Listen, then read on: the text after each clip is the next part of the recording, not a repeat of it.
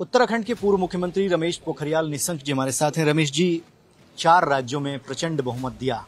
उत्तराखंड से आप आते हैं, उत्तराखंड को लीड कर चुके हैं। अब ऐसे में सरकार के गठन को लेकर चर्चाएँ चल रही हैं, क्योंकि मुख्यमंत्री चुनाव हार चुके हैं।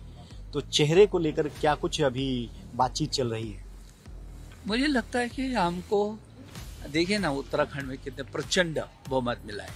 हमने उस, मिथक को तोड़ा है। जो लोग कहते थे एक बार कांग्रेस है तो इस समय बीजेपी आएगी बीजेपी है तो फिर कांग्रेस आएगी। हमारी पिछली बार भी हम प्रचंड बहुमत से आए और इस समय भी हमने उस मिथक को तोड़ा दोबारा हमारे गवर्नमेंट आई।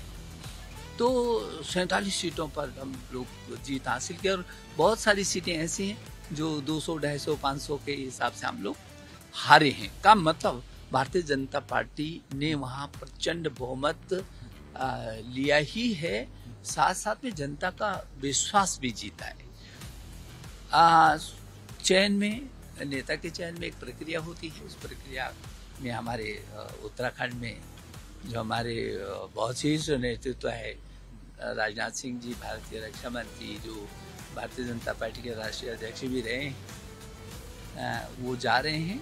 ले, मीनाक्षी लेखी जी जो हमारे विदेश राज्य मंत्री हैं वो जा रही हैं सह प्रभारी के रूप में उनके साथ।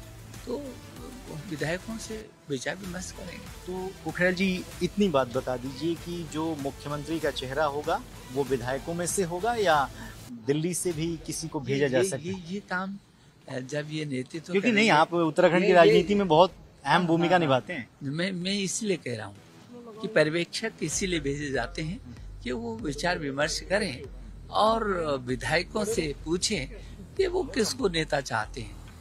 अगर कोई ऐसी परिस्थिति बनती है जिसमें अगर केंद्र कहता है कि ए, किसी व्यक्ति को जो कि दिल्ली में है सांसद है उनको भूमिका दी जाए क्योंकि आप कार्यकर्ता हैं आपने कहा कि हर ज़िम्मेदारी को निभाने के लिए तैयार अगर आपको ज़िम्मेदारी दी जाती है तो आप स्वीकार करेंगे। मैंने कहा कि मैं ही निभाना नहीं भारतीय जनता पार्टी का हर कार्यकर्ता हर ज़िम्मेदारी को निभाने के लिए कहीं भी खड़ा रहता है।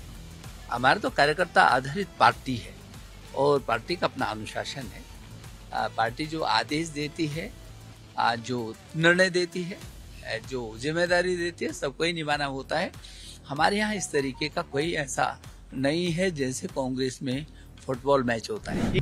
खबरों के पीछे की खबर को दिखाते हैं हम। आपकी आवाज़ को मुद्दा बनाते हैं टाइम्स नाउ नव भारत को यूट्यूब पर लाइव देखिए, चैनल को सब्सक्राइब ज़रूर कीजिए। और हाँ बेल आइकन दबाना मत भूलिएगा।